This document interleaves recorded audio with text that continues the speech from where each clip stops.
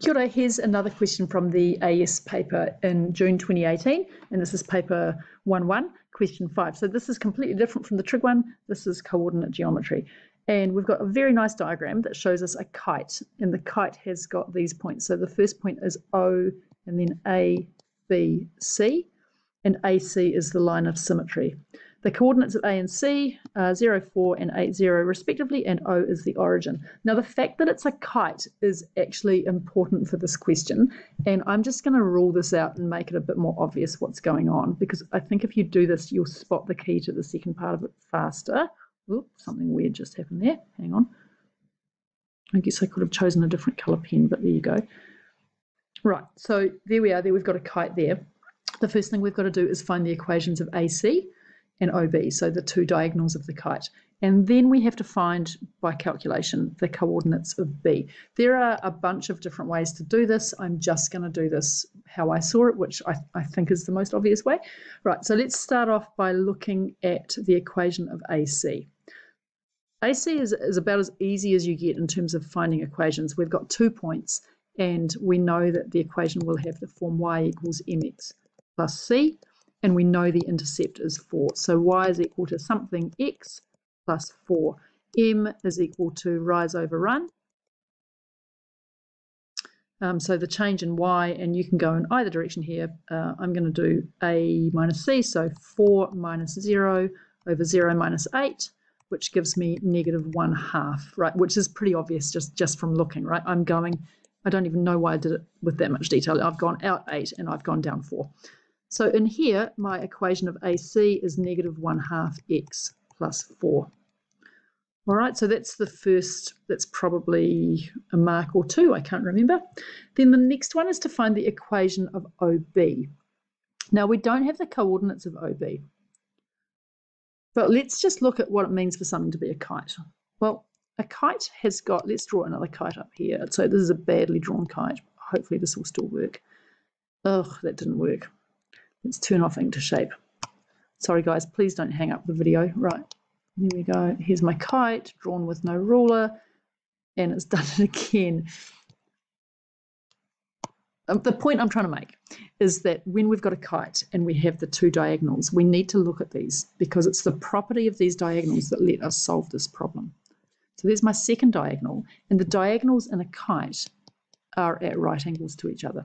And that's the clue to finding the equation of OB, because we know that perpendicular gradients multiply to negative 1. That means that the gradient of OB must be equal to 2, right? Since OB is perpendicular to AC and M1, M2 equals negative 1 if lines are at right angles, right? So some kind of reasoning like this is worth including. The next thing we know is that we don't know the coordinates of point B because that's coming up in here, but we know that the origin is on that line. So that means that y is equal to 2x is the equation for that second one.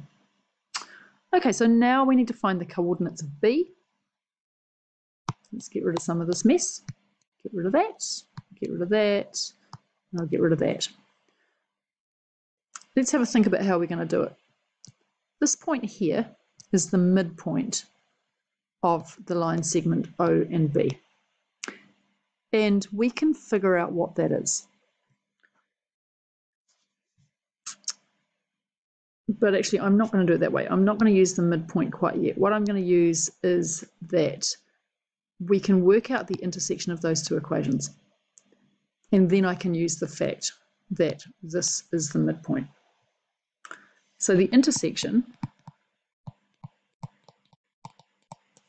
is where we've got 2x is equal to negative 1 half x plus 4. That gives me 5 over 2x equals 4.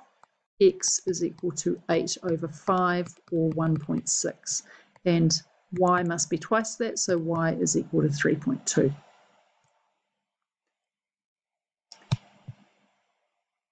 Now that means that we've got the coordinates of this point here. And so we can use some pretty basic reasoning to find the coordinates of B. This point here, we've gone out 1.6 and we've gone up 3.2. So if we do that again, we're going to get to here.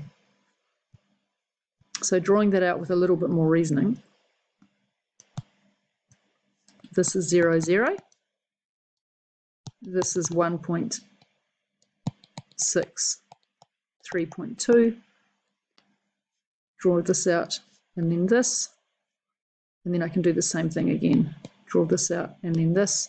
So my point up here is going to be 3.2 and 6.4.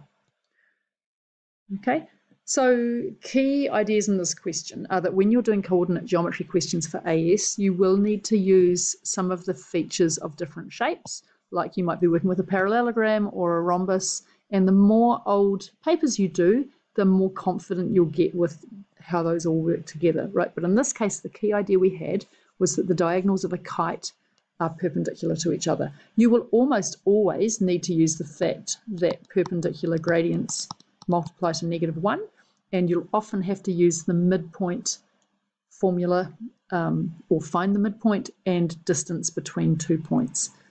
Okay, thanks for watching. Um, that's all for tonight. I will do a couple more questions tomorrow.